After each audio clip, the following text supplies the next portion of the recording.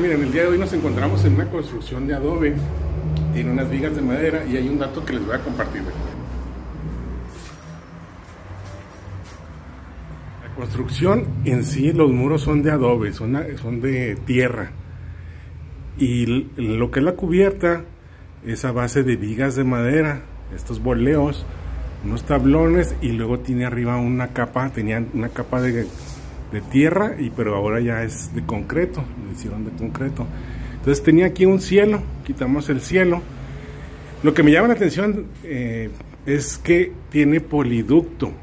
Ahora por norma no permiten que las instalaciones eléctricas tengan, eh, cuando está en contacto directo con la madera, tengan poliducto, tienen que estar aisladas con un, este, un tubo conduit, una tubería ya sea de pared ligera, eh, pero pues tienen que estar protegidas al menos por norma.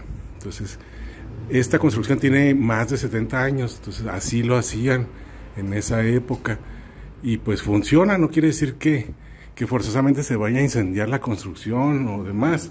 Entonces, lo que quería compartir es que existen este tipo de construcciones, aunque no ya no cumple con la norma actual, pues así era como se ejecutaban.